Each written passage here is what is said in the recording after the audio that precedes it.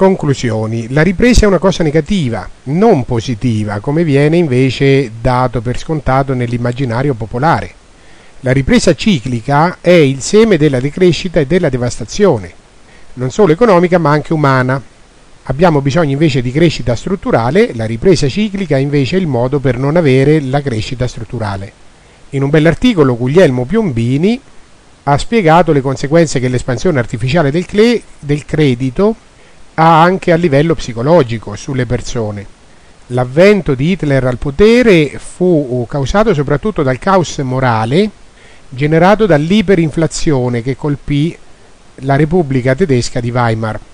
La distruzione del valore della moneta causata dalla dissennata politica monetaria di quei governi sconvolse la convivenza sociale e le norme morali. Chi per 40 anni aveva risparmiato diventò mendicante, chi era carico di debiti se ne trovò liberato. Chi si atteneva alle regole moriva di fame, chi corrompeva era sazio. L'umanità rinunciò alla civiltà millenaria del denaro. L'umanità regredì con le trincee sino all'età delle caverne, si riferisce alla prima guerra mondiale, ma questo avvenne proprio a causa del fatto che rinunciò alla civiltà millenaria del denaro. Infatti il gold standard, la civiltà millenaria del denaro, fu abbandonato nel 1914 per finanziare la prima guerra mondiale attraverso la tassa invisibile dell'espansione artificiale del credito. Se il gold standard fosse stato mantenuto, cioè se il denaro non fosse stato sostituito col denaro fiat, la prima guerra mondiale e quelle successive non avrebbero potuto aver luogo. Infatti per finanziare le guerre i governi avevano necessità di inflazionare la massa monetaria. Lo standard aureo glielo impediva, così i politici e banchieri centrali lo impedirono per decreto.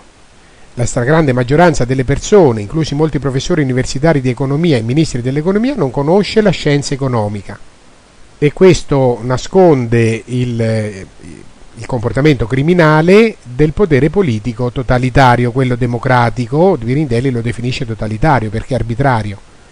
Aiutato dalla stampa mainstream, questo potere politico ha trasmesso il messaggio che la ricchezza può essere creata con una stampante o con un tasto di computer, cioè con l'inflazione monetaria. Coloro che oggi ehm, costituiscono oh, una forma di dissenso monetario, no euro, no austerità, sovranisti chiedono un aumento dell'espansione artificiale del credito ancora maggiore. Vogliono uscire dall'euro per esempio per avere ancora maggiori possibilità di inflazionare il denaro fiat. Mises li chiamava inflazionisti radicali. Non gli puoi parlare di abolizione del denaro fiat a corso forzoso, cioè di ritorno al denaro e alla libertà monetaria. Non gli puoi parlare dell'abolizione della banca centrale e dell'abolizione della riserva frazionaria. Nella loro opinione la scarsità è creata dai limiti artificiali all'espansione del credito e della quantità di denaro in circolazione. Essi raccomandano una spesa pubblica illimitata.